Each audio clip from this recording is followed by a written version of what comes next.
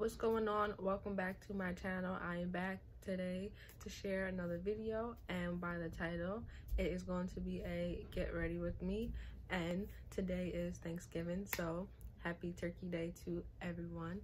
Now let's get right into this video I already went and moisturized my hair so that I didn't take up too much of your time. So I'm just going to show you guys the products that I used and they're the same products that I've been using. So the first one is the argan oil.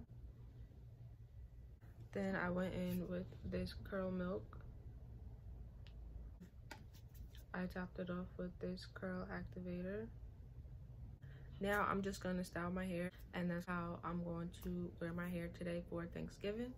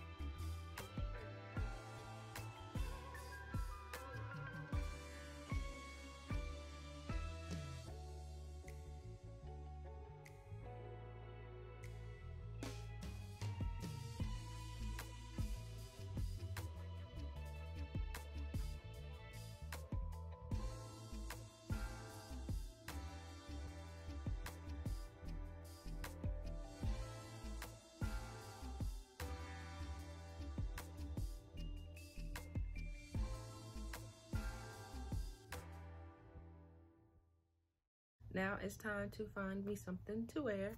And um, it takes me a really long time to find an outfit when I actually get dressed and have something to do. So bear with me while I find something to wear.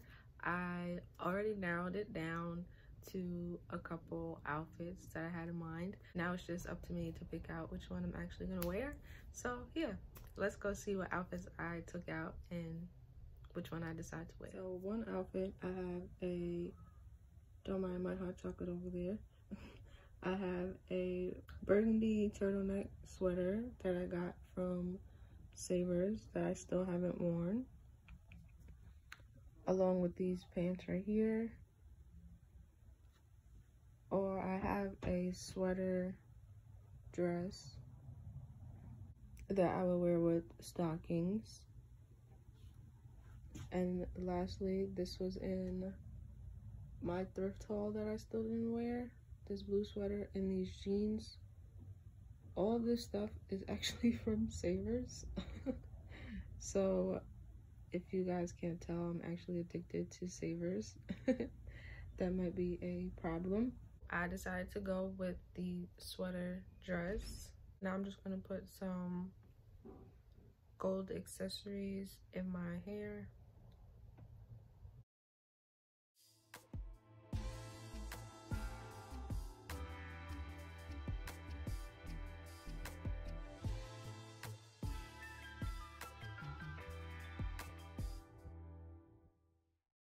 And I don't wear makeup so this is my only makeup my uh chapstick.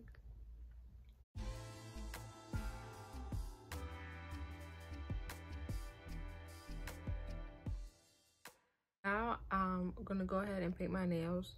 I'm to use this Sally Hansen nail polish.